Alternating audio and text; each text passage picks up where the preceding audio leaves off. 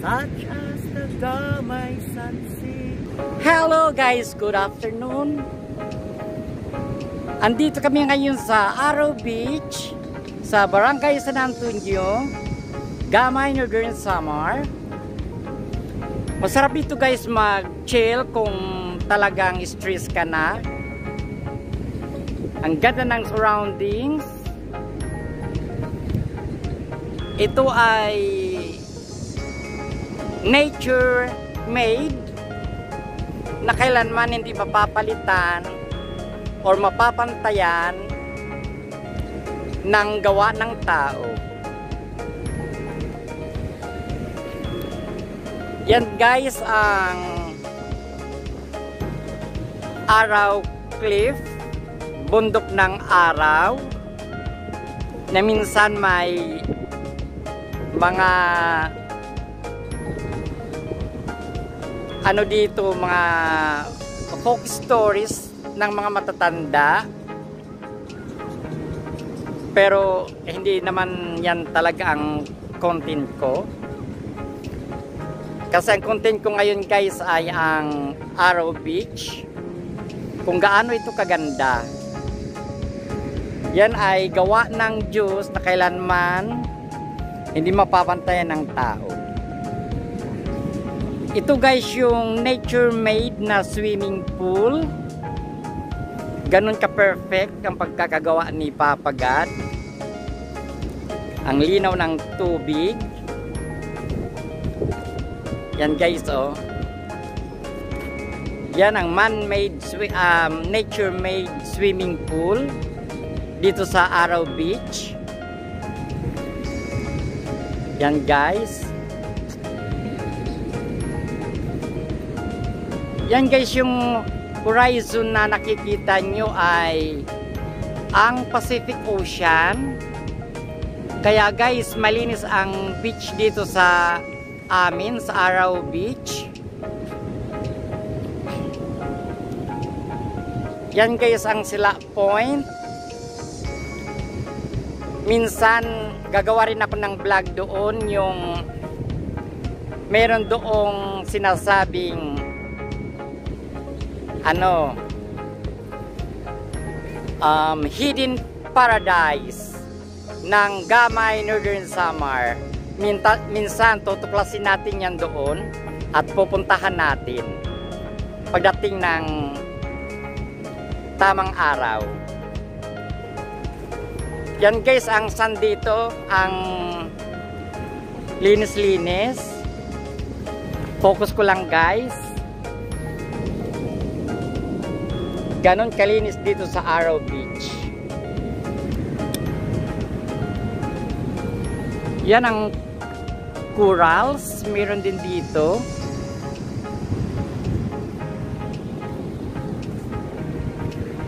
Ang dalampasigan ay malinis.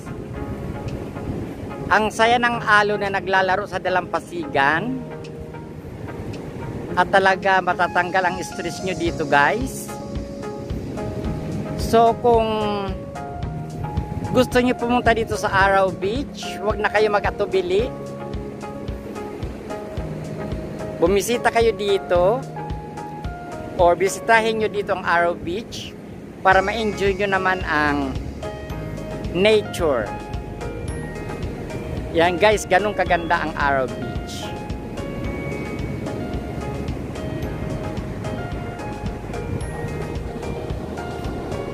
Yo, yan ang Pacific Ocean guys. Na talaga ang linis. Tamang-tama lang ang laki ng alon.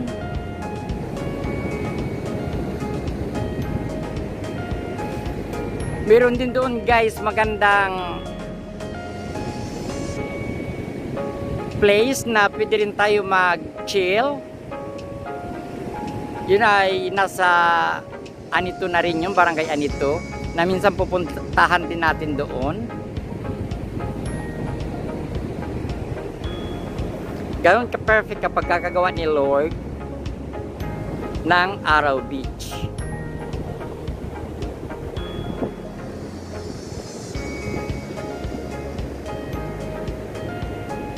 So guys, i-enjoy na lang natin ang ating mga mata sa panunood ng ganda ng beach dito sa amin sa Gamay Northern Samar. Ang guys.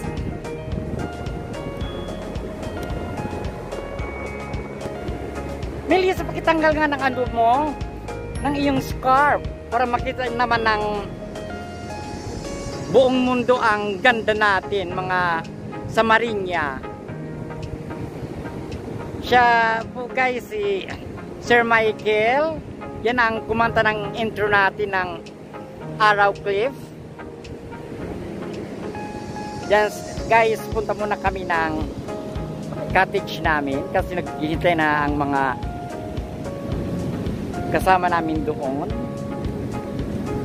Ang magaganda naming mga kaibigan na mga kababayan din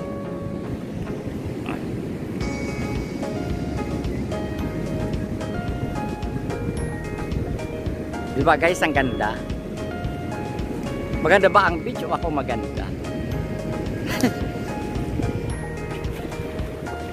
Bibi, kaway ka nga, Bibi. Hello! Gusto ka na dyan? Ang ganda ba, guys, itong, ano na to, itong nature-made na swimming pool. Ay, yung bata naliligo kasi safe dito kasi, ano, safe kasi tamang-tama lang ang aang lalim, parang pambata lang na swimming pool sa mga, sa mga resort. Pero iba pa rin guys ang pagkakagawa nito ni, ni Mother Nature. Hello, bebe!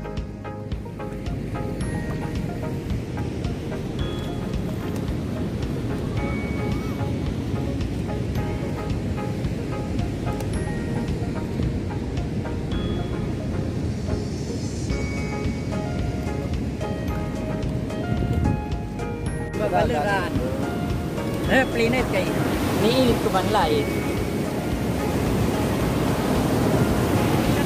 Kay gaway lang.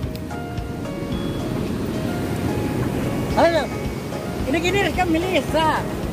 Ikaw ko kasi intro. Pwede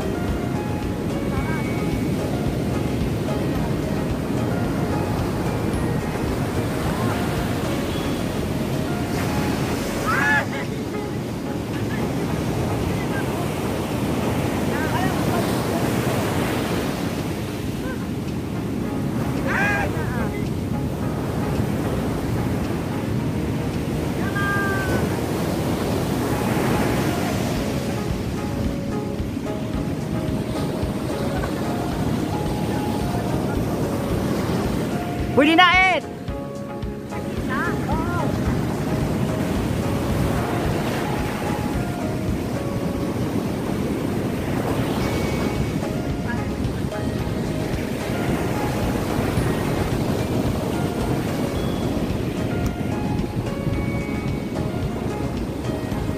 Ba't ba itong contribution sa araw?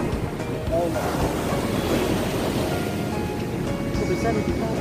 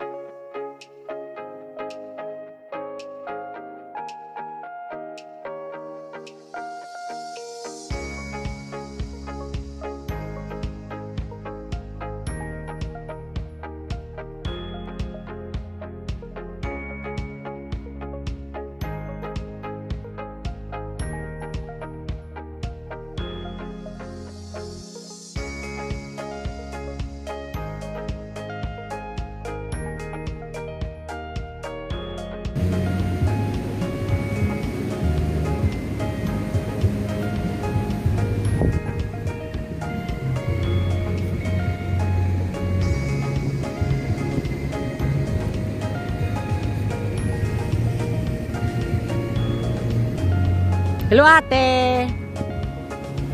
Naginano kam? Ah, para sa cleanliness and beautification sa araw. Hmm, hmm, maintain. Taga-upay. Hello. Hello.